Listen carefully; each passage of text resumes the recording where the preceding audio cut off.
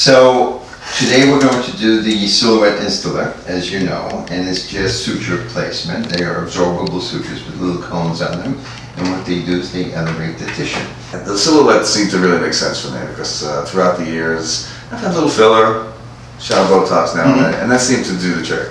I'm 62 years old, so Really? yeah. So You look uh, great. thank you.